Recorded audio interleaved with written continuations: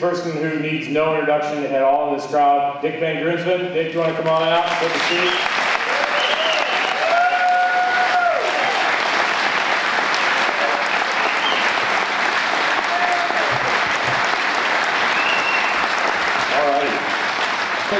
Thank the, the EAA for giving us this venue and the opportunity to do this. This is really nice that we can do this for Dick. And, um, and, uh, and for bringing uh, all the supporters together, the supporters of the RV1 project. Um, mostly, what I want to do is say thanks. I want to say thanks to all the volunteers who, in any way, gave us all the privilege of participating in the community effort to bring the RV1 back to the forefront of the experimental aviation community. You know, some folks gave money, some gave equipment, some gave tools, some people gave us space. Um, a lot of people and companies gave us parts. I didn't even think of them as companies. You would call up and we talk to whoever it was that ran it. Uh, and, and many, many people gave their time. Um, we did not want this to be a Texas project. That's where the airplane was when we restored it. Uh, a lot of folks that were in Texas were able to work on it, but we had people come from all across the country and spent time working on it, getting their hands dirty and working on it. And then we were able to share it with the whole country. So everybody that made it happen, thank you very, very much. It was very important. Um, when I was first introduced to the RV-1 in the dusty, dark corner of a hangar uh, down in um, on the east side of Houston at a little private strip. It was about four years ago, two years ago. My first thought was, wouldn't it be cool to get a hold of this and give it back to Van? Well, I'll be honest. My first thought was, I want to fly that airplane. when I see an airplane, right, Dick, you're probably the same way. You see an airplane, you want to fly it. You got to do that. But, but I said, you know, it would be really neat. The ultimate idea was, could we, if we could get this thing, get acquired, and restore it to where it was safe to fly, and actually fly it to Oshkosh, that would be an incredible thing. Well, we did so much more than that because it's going to be perpetually preserved in the museum here. And before that, we flew it about 12,000 miles. And when I say we, I mean people out there. We did something that, as far as I can tell, is kind of unprecedented. We took this thing, we passed it from pilot to pilot. We gave it from person to person, people we could trust, but some people who I had never met. And we sent it around the country, about 12,000 miles, 120 hours of flying. Um, but that's about the airplane. I'm going to say a few things about the airplane more at the banquet tonight, if you're there. Um, you know, we ended up with what, what I really want to talk about is the community effort. And what we wanted to do was give this gift to Dick, to Van, because it's a gift of saying, we appreciate everything you've done with all the airplanes you've built along the ways. It's not a gift of an airplane because we didn't give it to you. We gave it to a museum. You gave it to the museum. This was a gift of, of not an airplane, but of the time and the commitment and it was a way to bring your efforts back to the forefront of experimental aviation. Not just your efforts as a designer, but as a pioneer of getting people involved, of getting people involved in flying affordably, getting people involved in flying safely, which is really important, as well as building the next generation of people, not just to be pilots, but to be good citizens. And we're going to see some of them as well. Uh, Friends of the RV-1 was formed uh, and, and I hope people don't, don't understand, or understand that Friends of the RV1 is, is just a couple people. And, and I can't say enough about uh, Ernie Butcher, who helped to set this up, and my wife Louise, who has been just invaluable for this whole thing. Uh, and, and it's not a membership organization, it's just a, a nonprofit, and a lot of people gave time, money, and effort to make this happen. You know, the RV1, when we found it, was not flying. Dick had had it for a number of years. He sold it to a guy, a fellow in Texas. He sold it to someone else in Texas. It really hung out in Texas for quite a while.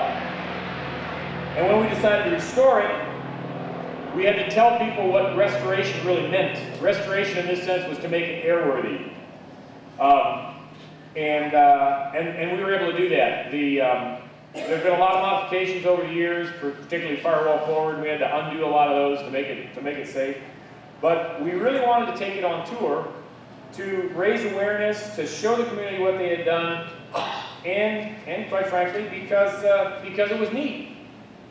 So we were able to share this, this airplane with people all over. The only, the only place it didn't get was the southwest U.S. because we just ran out of time. But the east coast, uh, the east coast of the U.S., the southeast, Canada, all the way across the barnstorming tour to the west coast and then up into, into the northwest and finally back across here. I think Joe Blank ended up with the most hours of anybody flying in about 24 hours, other than Van, of course.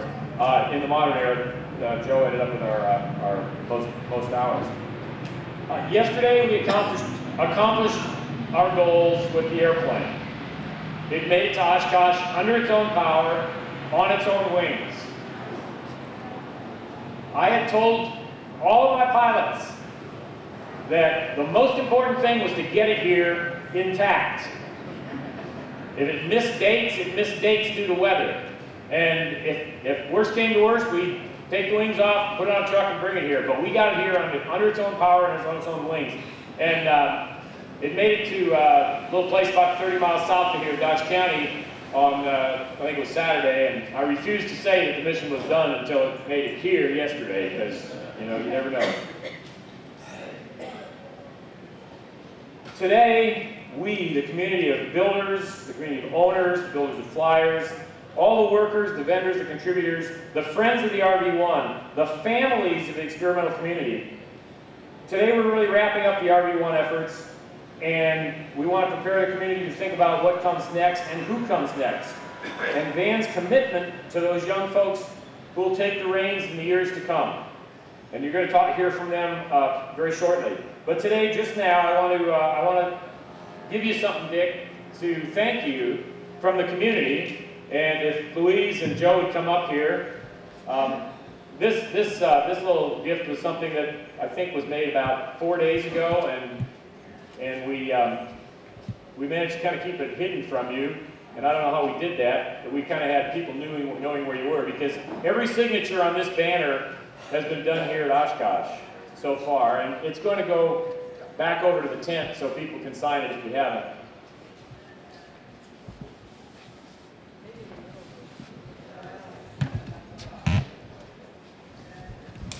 The signatures on here represent thousands who helped but couldn't come. We want everybody to keep signing it uh, at Van's tent.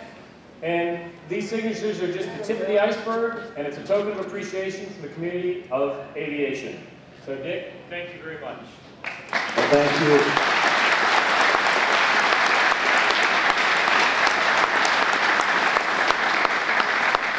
We'll, uh, we'll find a prominent place to hang that and uh, display it at the factory, the headquarters.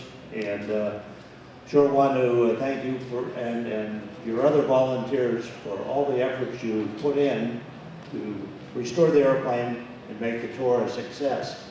I know when you first located the airplane, you offered me the opportunity, or us, the factory, and we sort of figured that really your enthusiasm and your, your talents could best achieve this end rather than we taking it and trying to find time to do that. So, um, as you say, it's a community effort. It was a great effort, and I think was probably uh, attracted more attention than I would have expected. And thanks to you for that, and Louise, uh, Ernie, and everyone else. So thank you. I guess the RV1 had been at Oshkosh one year or more. Um, I never had it at Oshkosh. I had it at Rockford, where the convention was held up until 1970, I believe. Um, but one of the subsequent owners had had it here at least one year or more. So it's, it's back. Okay, so let's just talk a little bit about the RV-1 and the 40 years and counting of kit aircraft. Bringing that airplane into Oshkosh, tell us a little bit about that experience. Bringing it in yesterday? Yes.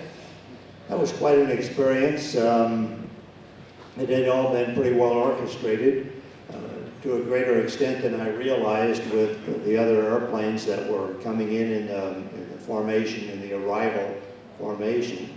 A lot of work had gone into that by um, the various formation groups, Fal Falcon Squadron, I'm not even sure I have the name right, Stu McCurdy and and his people, Falcon Flight. Um, I was very impressed with the level of organization that these pilots have put into it. I know that for many years, uh, Stu and others have been doing very good work in um, training and uh, doing very uh, highly disciplined, highly skilled uh, formation flying. But uh, it just reminded me though with, with um, as I witnessed their briefing, uh, that the uh, level of skill that they've achieved and the dedication and, and the discipline.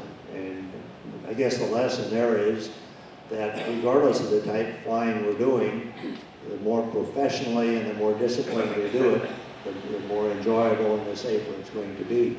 But that said, uh, one of the other concerns was just flying this airplane in, at least for me, a, a loose formation uh, in very hot weather, uh, low altitude, coming in here that I and everyone else consider the physiological factors and make sure that, um, you know, I'm willing to put up with some discomfort on a flight like that, but you don't want to push your limits too far. As it turned out, um, I was more comfortable and more at ease on the flight than I thought I might have been under the temperatures that we experienced.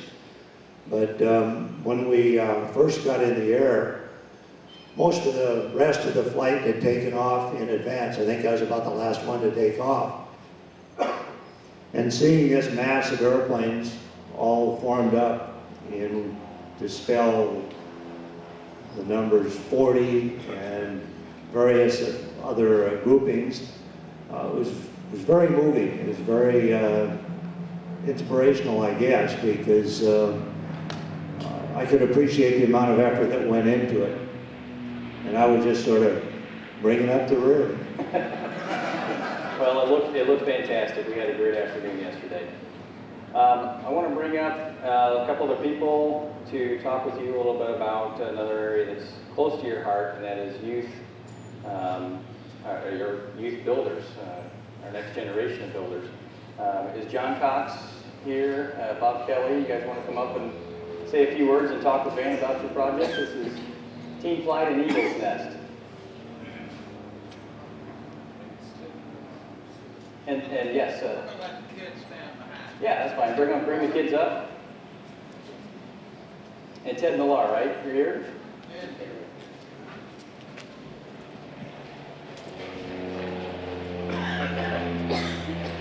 Well, there, are- I think everybody for many years has has acknowledged that it is necessary to uh, get younger people involved in aviation. For too many of us with uh, gray and white hair or no hair, but and that's better than next alternative.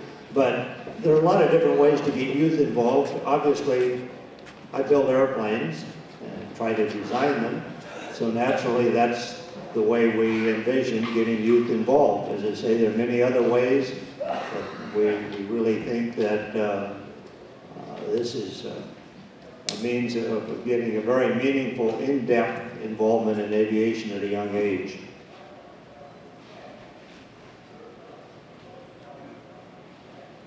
This is the biggest uh, thrill of uh, Oshkosh, and there's certainly a lot of them. Uh, I really, uh, following up on Teen Flight, we're Eagles Nest. Uh, we started a project at Jennings County High School, uh, actually right about two years ago. I got to tell you, I got to tell you just brief what happened. Tried to find a school for a long time, took a while. I talked to the school about a year before, and I got a phone call, and they said, we're ready to start. I said, great, when do you want to start? They said, how about Tuesday? uh, that was how Eagles Nest One began. And uh, without the great kit that came out of that factory, this could have never happened.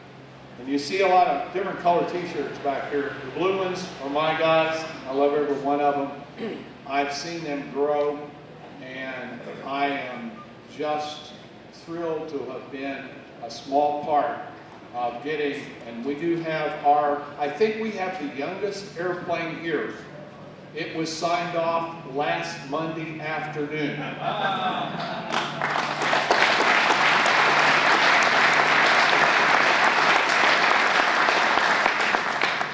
These guys worked almost day and night for that last, and and Indiana had the longest stretch of 100 degree plus weather they've ever had. Our group is uh, from the Portland, Oregon area. Uh, Several years ago, uh, a group of us that were passionate about aviation were talking with Dick. We've all been supporting a program that started 20 years ago where they had kids building model airplanes and then uh, getting simulator training, things like that. And Dick said, you know, this is such a good program, we need to keep this going after the, the gentleman passed away that started that program. And so a lot of us talked and decided to start a team build program using the RV-12 because it was a perfect airplane for that use. Uh, very well designed. Uh, it was a very detailed kit. In fact, Dick said it was the best kit that they had ever produced, and he said it was so simple, Ted, you could even build one. But we uh, got a group of people together that were passionate about aviation. we got the kit going, and the, this group behind us, uh, three of them are from the uh, first group we call Teen Flight One. We had uh, 12 kids in that program, built an airplane, got it certified, and they're all getting their training in it. In fact, uh, one of the young men back here, Eric, where, where are you, Eric? Uh, he started with this program building model airplanes when he was 11 or 12. He helped build the first airplane. He's a student mentor in the second airplane. He just got his pilot's license uh, about a week and a half ago. And he,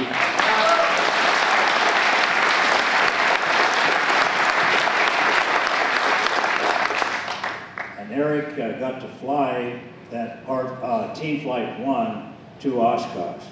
And I said, wow, what was that like, Eric? That's 14 hours. He said, well, he got to lock a lot of time. the second group uh, we started, we have 15 young people involved, and uh, they go from, uh, in that program, from 12 years old to uh, the student mentors at Eric's now 19. And we have two young women uh, involved in our program, and they're doing a great job too. That's uh, Paige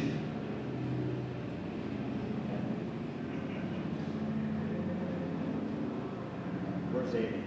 Paige and Amy. Oh, right here. I look back, all those yellow shirts. But you know, the thing that's most impressive to all of us is it's the kids and how dedicated they are. And you know, the thing I've been impressed with uh, Dick Van Grunsven and his family, I've gotten to know Dick over the years, and um, he's changed aviation as we all know it um, with the RV airplanes. Uh, because he's a very dedicated person that wants things safe and he won't let you change it just for speed. But you know, the thing that's really more impressive to me than that is Dick and his family uh, are mentors. They come out there every Saturday and work with those kids. So he not only has done it, but he does it every day. And Dick, I'm really impressed with that. Thank you for helping me. do that.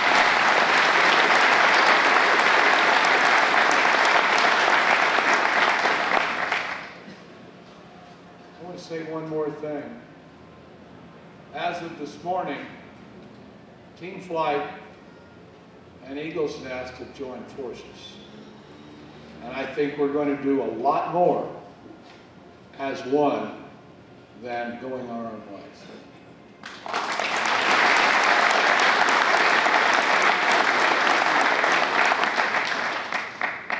Ernie, would you like to come out here? I just want, uh, it's time. It's time, okay. No, there you go. Mr. Mayor Benson? Yes, introduce yourself. I'm Justin Inman, Teen Flight 2 builder. Mr. Grant Grimson, on behalf of Teen Flight program and the Eagles Nest program, we present this signed poster to you for your wonderful mentorship, your inspiration, guidance, and support. I just really appreciate it. Thank you very much.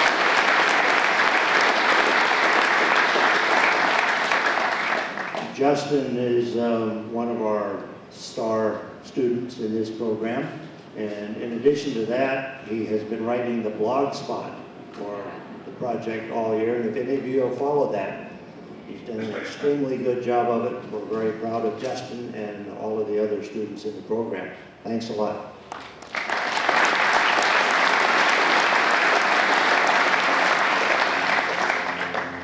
Ernie, Ernie, why don't you come out and just say a couple of words, because you're, you're a big part of this. Come on.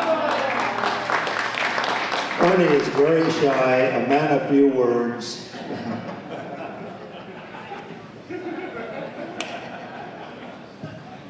Uh, I think uh, I have very few words right now because the kids have said it all. Are we not proud of them? Let's give them, let's, come on, let's give them.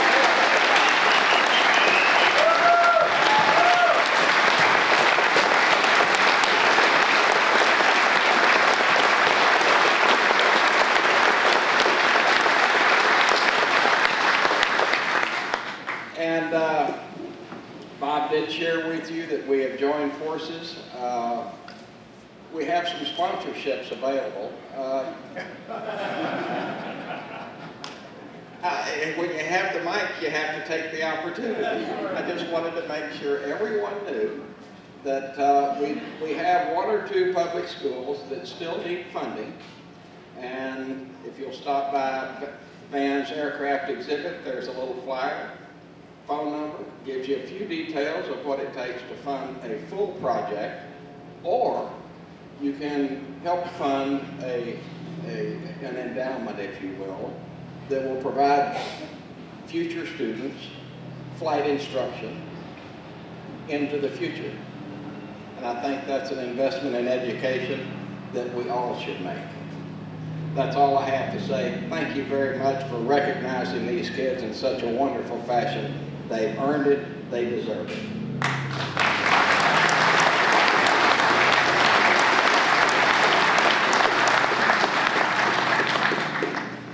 We're doing something this morning that is unprecedented. And I wanted to do it because it truly is a special celebration and a special occasion. Normally, we present one of our highest awards in the EAA, the President's Award, at a different time. But in front of the people that make Vans business and make Vans passion such a part of all of our lives, I wanted to do it this morning. So, what I wanted to celebrate and recognize today 40 years of successful business, 40 years of fabulous design work, over 7,000 kits produced. You have impacted the aviation world in a way that few ever will. As EAers, we're also very proud of what you've done. We're very pleased and we're inspired by what you accomplish and what you teach us to do. It is my great privilege to recognize you with this year's President's Award from EAA to say thank you for 40 years of greatness and innovation and passion. Thank you and congratulations. Thank you very much. This is definitely a surprise. And, uh,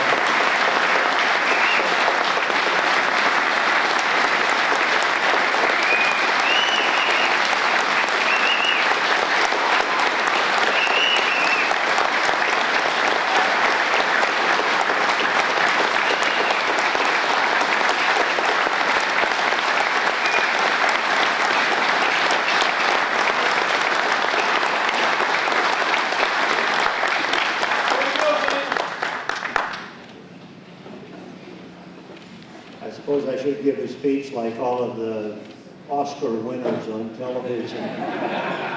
But I think you've heard too many of those. But I, I definitely need to share this with a lot of people, with my family, and particularly um, the people that have come to work with me at Vans Aircraft that are really responsible, more so than, than I am in many ways, for the aircraft designs and the, the overall success.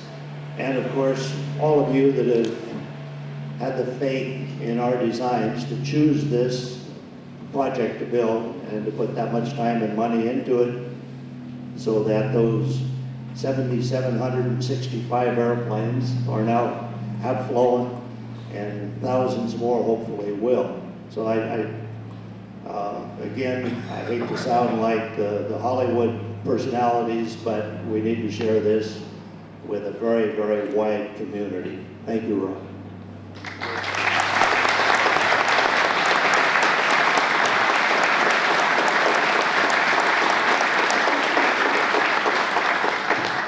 wanted to contribute in some way, so aside from building an airplane, I do a little bit of aviation art. So I uh, contacted Paul, Louise, and Ernie and asked if they would have any uh, use for an artist rendition of the RV-1, maybe hang at the back of the hangar for motivation or whatever they wanted to do. But they had some better ideas. They made some prints and cards and posters and stuff. And they also had the idea that we should present the original here to Dick today. So that's what we're going to do. And I just want to say, I wanted this painting to kind of embody the spirit of everybody that took part, the pilots, the volunteers, the people that worked on it, and everybody out there who wanted to be a part of it but couldn't for one reason or another. And I wanted this to be a memento for this group of people. So I wrote something on the back, and uh, it says, the title is Humble Beginnings, the RV1 over the Family Farm. And the farm, I think, is a, an integral part of this whole story. So we wanted to include that. And thanks to Louise here, because she was the uh, person on the ground who uh, got the reference material for that, because there just isn't a whole lot of that around. Um, anyway, I went on and wrote on the back, presented to Richard Van Grunsven from the Friends of the RV-1 with appreciation for making these air, fantastic aircraft available to the world. So uh, Dick, this is really from the whole group, and uh, we hope you enjoy it. And if you want to hang it back of your hand, you go ahead. We'll again find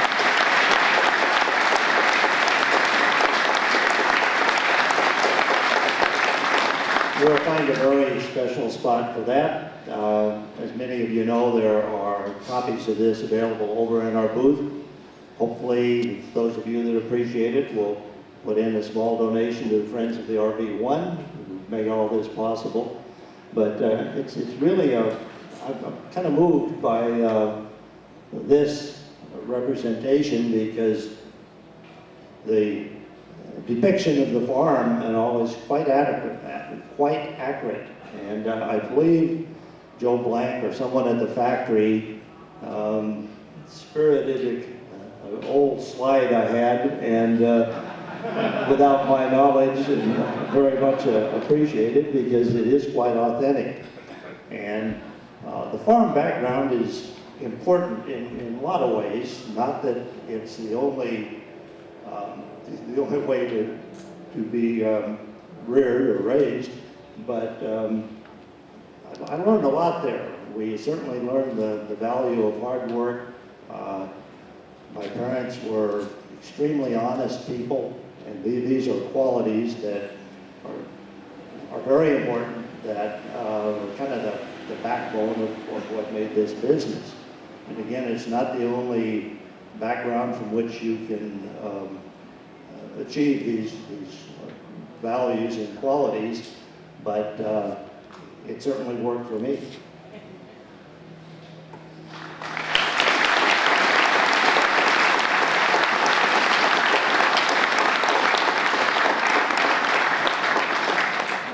I think that's about it. Did we miss anything? Any closing remarks, Dick? Well, we're all gathered here. I think we have time. Um, I've still got voice left. If, um, I'd like, if if there are any uh, questions anyone has or any areas they would uh, like to hear some worthless opinions on, I'm here. Um, yes, hit. Sailplanes, what's next on the horizon for sailplanes? I'm gonna go home and fly my sailplane. I think it's a, a great area, a great uh, area in private flying to, to to really enjoy yourself and to advance your piloting skills. As far as developing something, um, I've written before that as an after-hours project, I've been working on a medium performance single-seat motor glider, which I'm still working on, but not as industriously as I should. Basically, we, we just need um, more uh, requests, more input from interested people.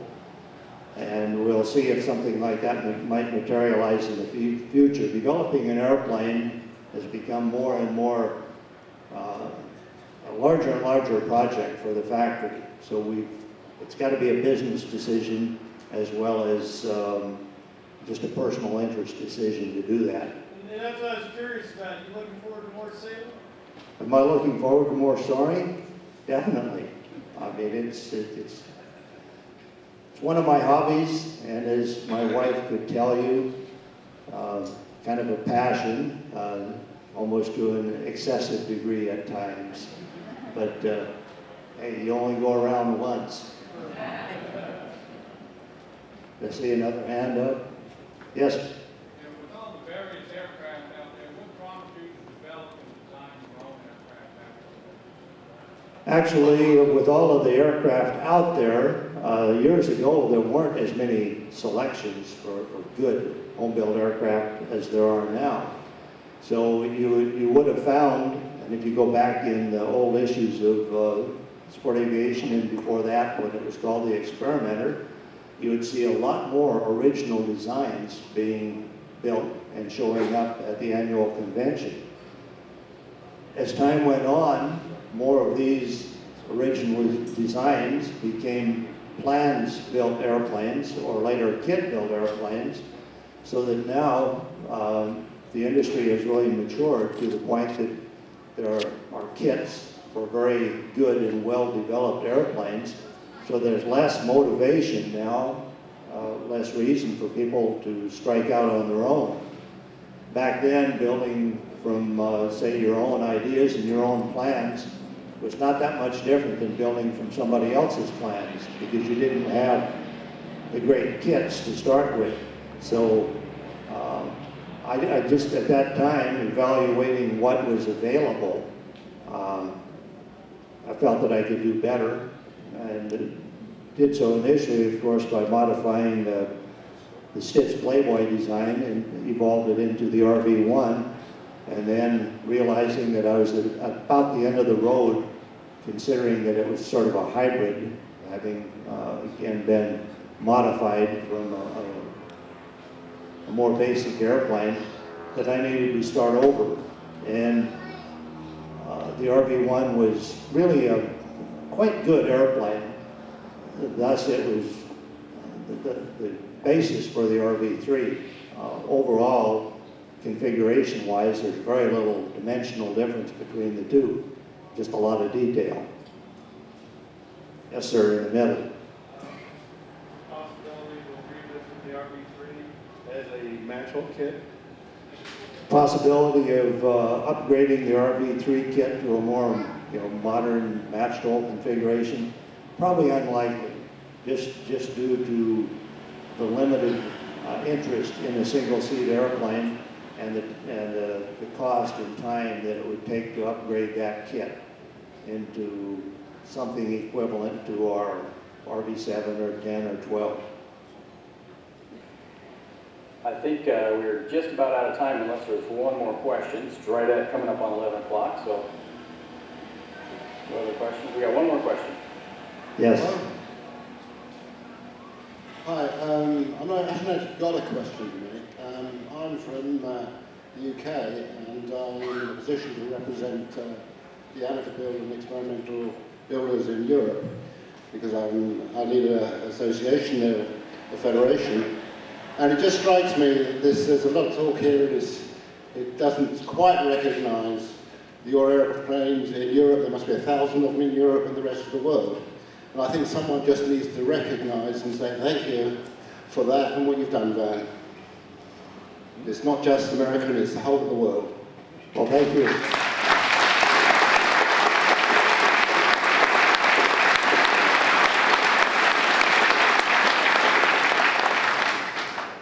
Yeah, we definitely recognize that, and uh, as time has gone on, a larger and larger percentage of our business, our sales, have been uh, to international customers, so uh, it it is definitely an international, worldwide experience. Well, thank you, everybody, for coming. We, we, we do have the theater for another hour, if uh, um, you guys want to hang around and have some informal time. I want to thank our guests for coming up here and sharing this time with Dick today. Um, really appreciate it. They've got a, a, great future ahead of them, 40 years past. Um, so from everybody here, thank you, Dick.